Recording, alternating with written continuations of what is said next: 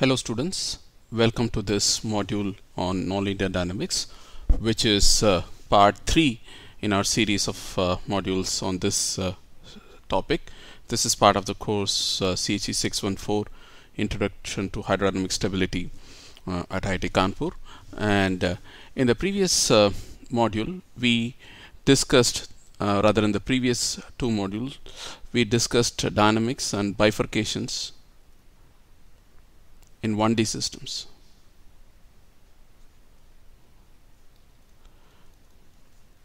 In one-dimensional systems, remember that one-dimensional systems have only one uh, variable, a dependent variable x, let's say. So, in general, you will have a nonlinear differential equation describing the evolution of x subject to an initial condition uh, x0. Okay, this is the initial condition, and uh, this is in general a parameter a control parameter which you can vary at will uh, experimentally. And uh, you are interested in understanding what are the uh, steady solutions which are known as fixed points and uh, uh, whether the fixed points are stable or unstable.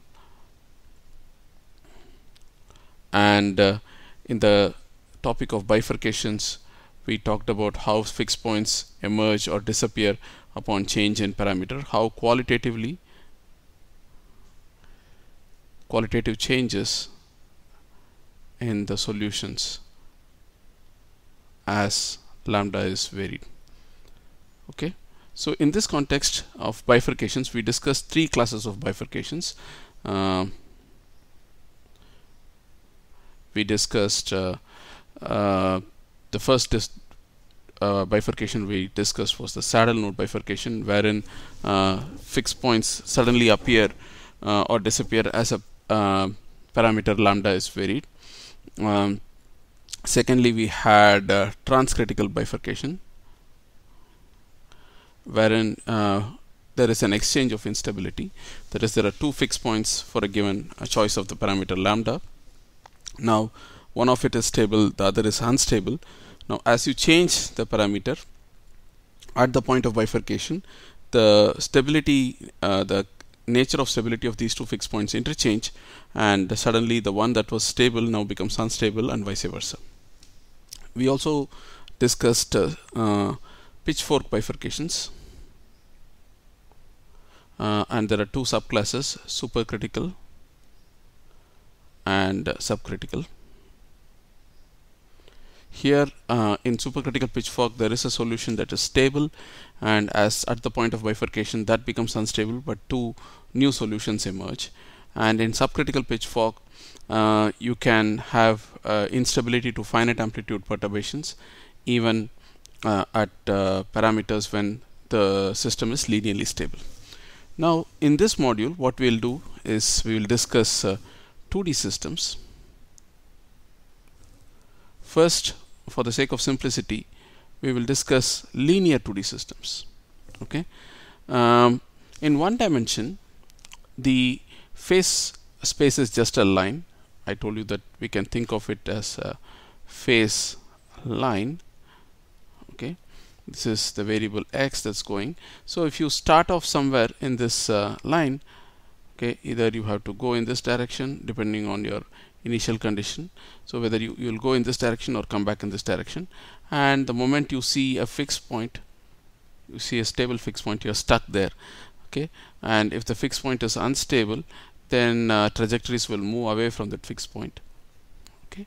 And if there is no neighboring stable fixed point the trajectories will fly away to infinity. This is all that can happen in uh, one uh, in 1D that is the dynamics is relatively uh, uncomplicated. So all trajectories will move monotonically towards the neighboring steady states or um, once they reach a steady state they will stay put there. There's nothing else uh, one can expect in 1D but in 2D and higher dimensions more complicated uh, and interesting trajectories can happen. Imagine if uh, you are asked to just walk on a narrow lane you can just go walk along in the forward direction or in the backward direction. That's the only degree of freedom you have on the other hand if you are asked to uh, walk on a on a playground then you can do all kinds of motion. You can go round or you can you know do all complicated uh, you know motions in, in a two-dimensional space right? In the same way phase trajectories can also uh, exhibit complicated motion in uh, two-dimensional space and, and higher dimensional spaces. So we'll take the case of 2d systems and linear systems uh, to begin with. Uh, the generic the most general two-dimensional linear system. Uh, two-dimensional meaning there are two dependent variables x and y and x dots and y dots are the time derivatives right? And uh, here a b c d are parameters.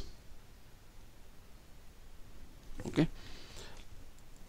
Now we can concisely represent this as x dot is equal to a matrix dot x where x is the vector xy and a is the matrix a b c d.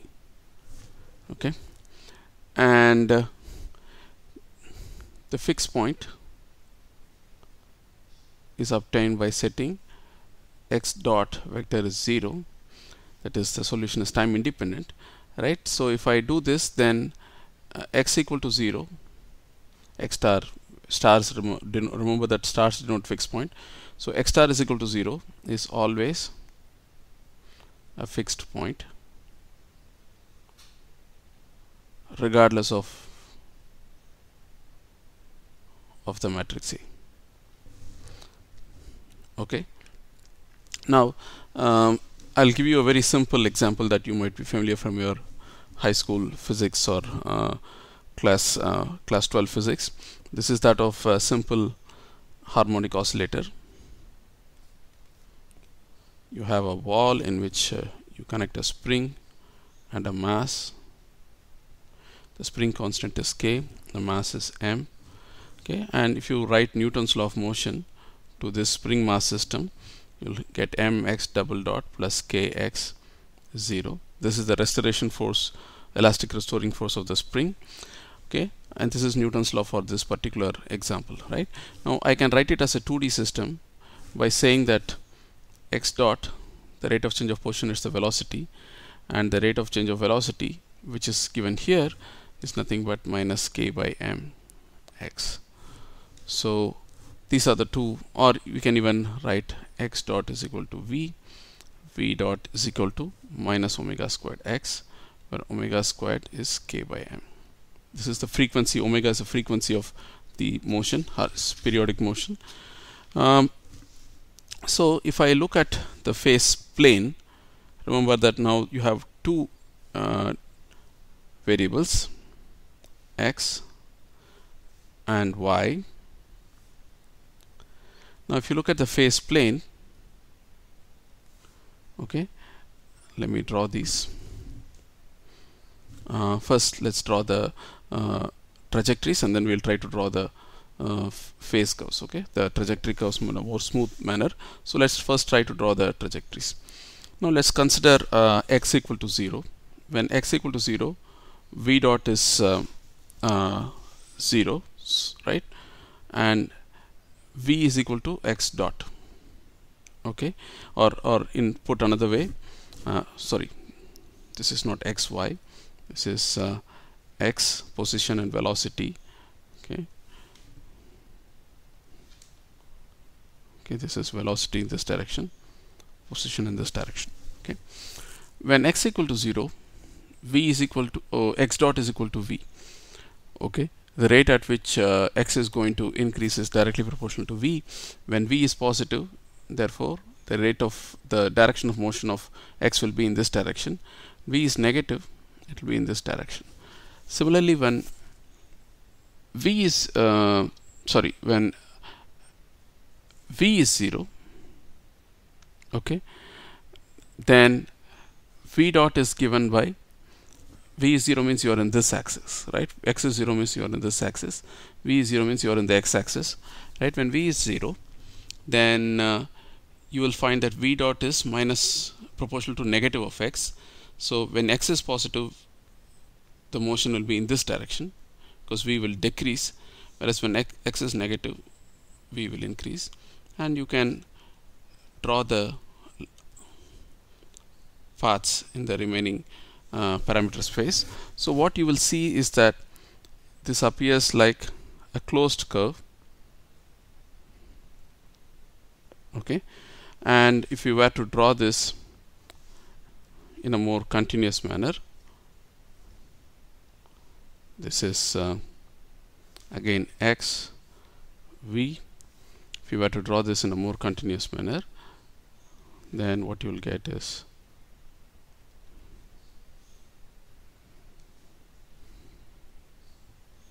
okay.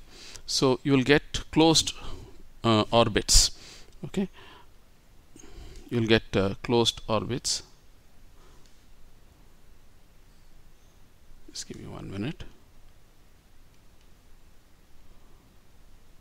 me position these in a more symmetric manner.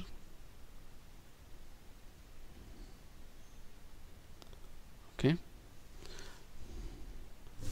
You'll get closed orbits.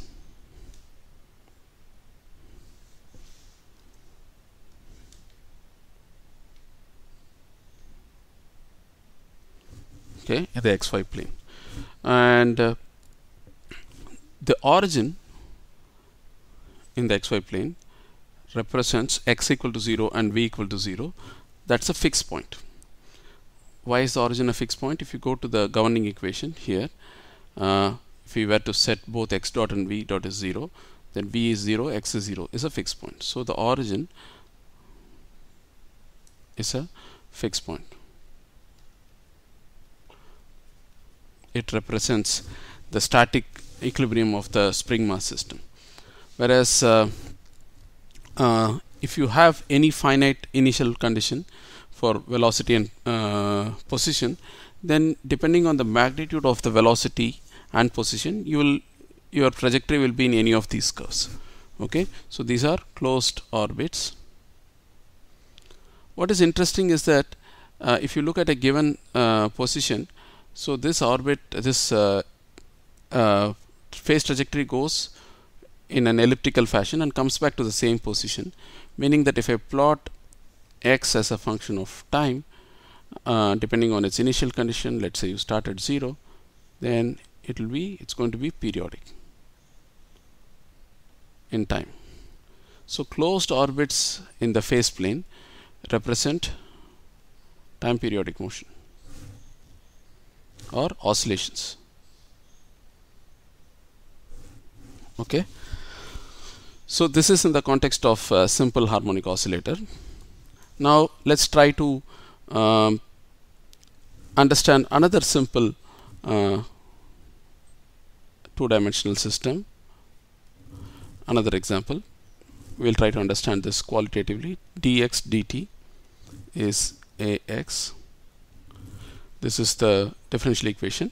And a I'm going to take it to be a 0 0 minus 1 where a is a parameter a can be less than 0 equal to 0 or greater than 0 okay? Now of course in uh, the matrix form this is nothing but x dot y dot is a 0 0 minus 1 times xy implying that uh, x dot is ax y dot is minus y or x dot is nothing but x at time t equal to sorry if I solve this x of t is x at time t equal to 0 e to the at and y of t is y at time t equal to 0 e to the minus t okay? And uh, by the choice of this matrix these two differential equations are uncoupled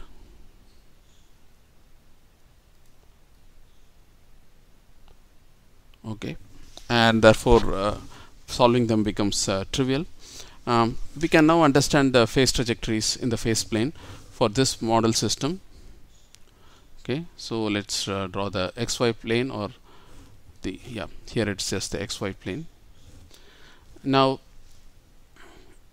what are the steady state solutions or fixed points? Uh, the fixed points are obtained by simply putting x dot is 0 y dot is 0 which will give you x equal to 0 y equal to 0 so this is a fixed point origin is a fixed point okay now if you look at other uh, trajectories.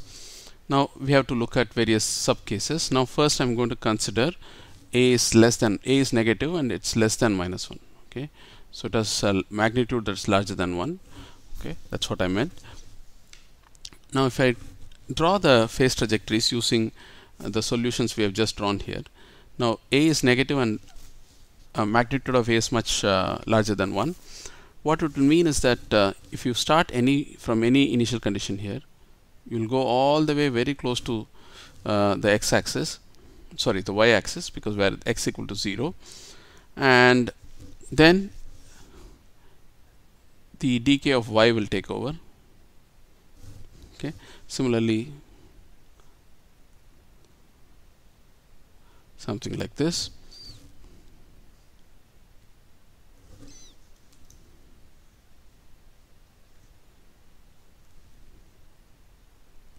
Okay.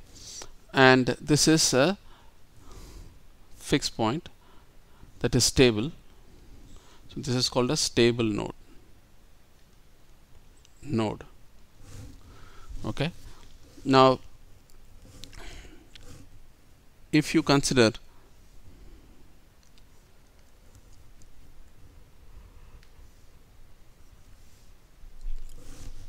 a less than uh, sorry if you consider minus 1 0 then the opposite happens in the sense that you'll have things approaching the x-axis very rapidly and then approaching the origin very slowly.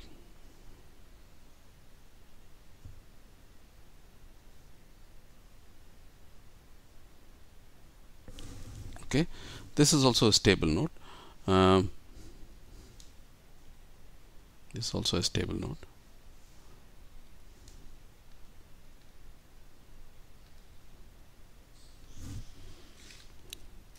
okay.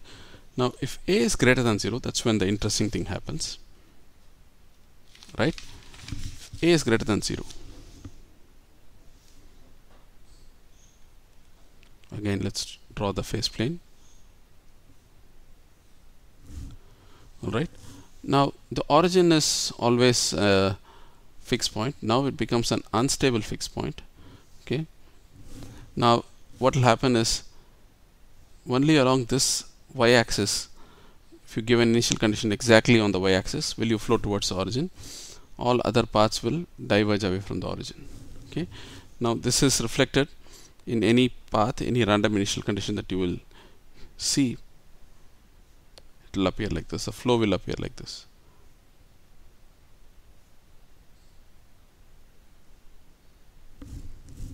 Okay. Now out here along this direction if you start exactly on the y-axis you will go towards the fixed point. So this is called a stable manifold. Okay this is the set of initial conditions this is the space of the set of initial conditions that go towards the fixed point. Now you also have unstable manifold. Which is the set of initial conditions such that uh, you will go away from the fixed point okay? As you go forward in time you will go away from the fixed point. Now um, you can classify linear systems linear 2D systems.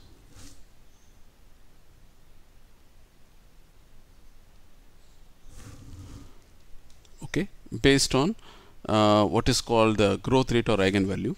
So let's write the solution x of t is e to the lambda t times v. Okay? Now v is a vector that's independent of time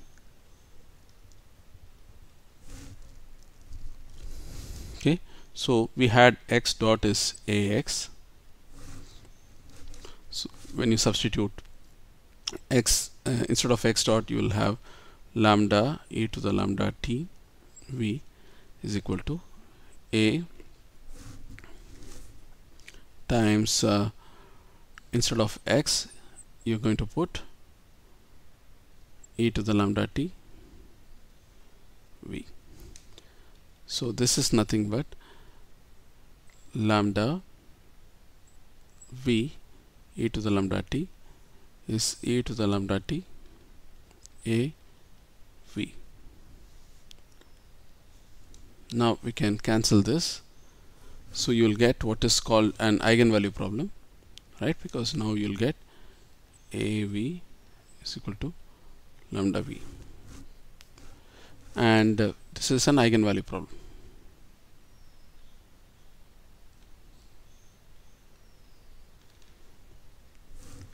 okay. Now to find the eigenvalue you have to put determinant of a minus uh, lambda i is 0 and uh, this means determinant of uh, a minus lambda b c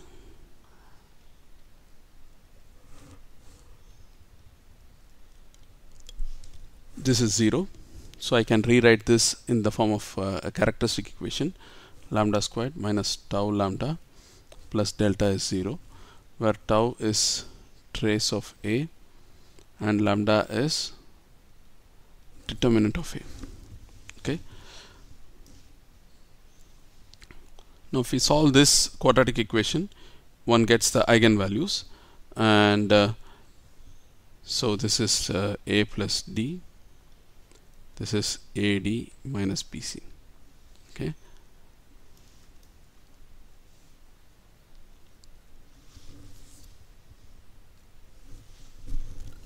okay now you can find the two solutions.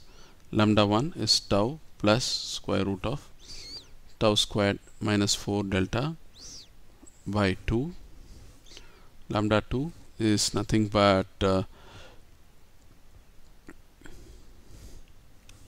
tau minus tau squared minus 4 delta by 2 okay now if lambda 1 is not equal to lambda 2 that is you have two distinct eigenvalue eigenvalues then the eigenvectors are linearly independent. Okay? And uh, they span the entire two dimensional plane.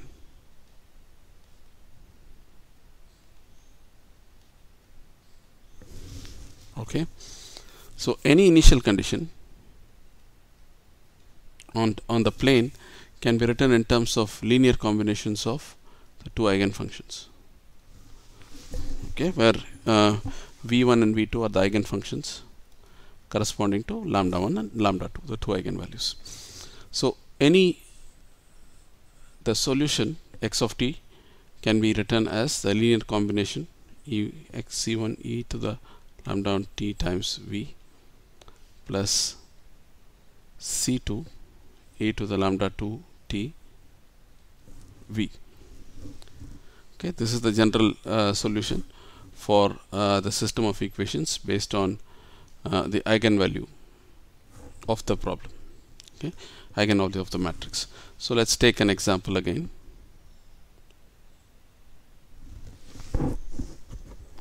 Let uh,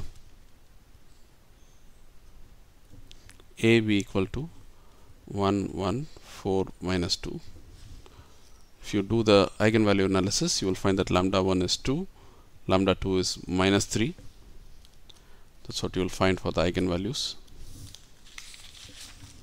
Okay. And the corresponding eigenvectors are v1 is 1 1 and v2 is 1 minus 4 okay.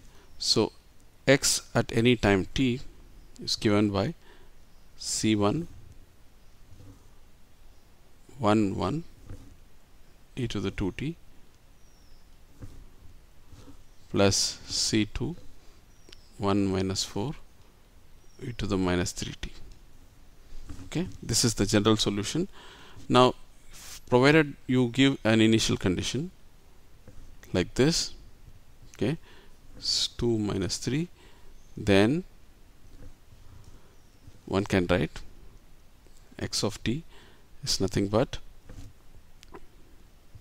a to the after fixing the constants you will find that c1 is equal to 1 c2 is equal to 1 then you will find that x of t is e to the 2t plus e to the minus 3t and y of t is nothing but e to the 2t minus e to the plus 3t okay.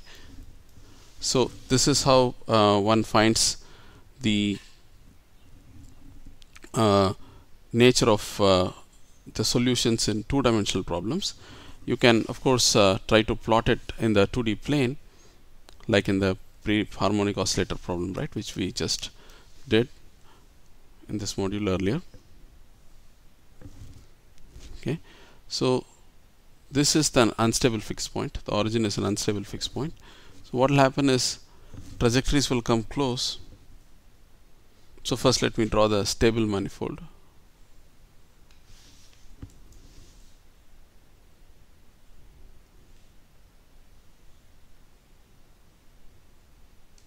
Okay.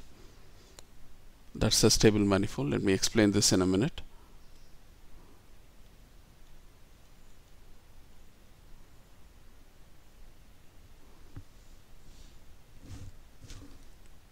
Okay now what are these? These are the eigenfunctions in the xy plane. Uh, notice that uh, the eigenfunction for v1 is 1 uh, 1 the eigenfunction so that will appear like this. The eigenfunction of v2 is 1 minus 4 that's what I am showing here. The eigenfunction for v1 will appear like this. Okay. So here I would write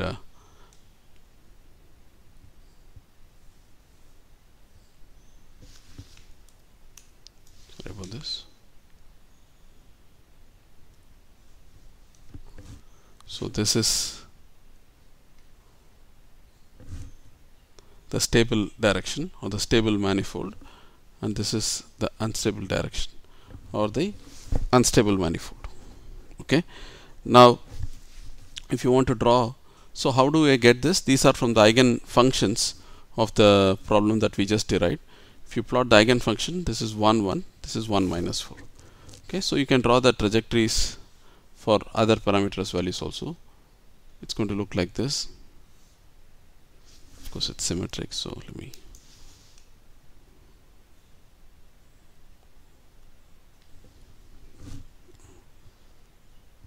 okay and uh, you will also have something like this